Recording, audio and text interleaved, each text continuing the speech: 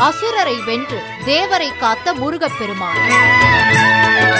வேல் கொண்டு வெற்றிகளை குவித்த சுப்பிரமணியன். அறுபடை வீடுகளில் இரண்டாம் படை வீட்டில் நடைபெறும் கோலாகல திருவிழா. திருச்செந்தூர் அருள்மிகு சுப்பிரமணிய சுவாமி திருக்கோவில் சூரசம்ஹார பெருவிழா சிறப்பு ஒளிபரப்பு.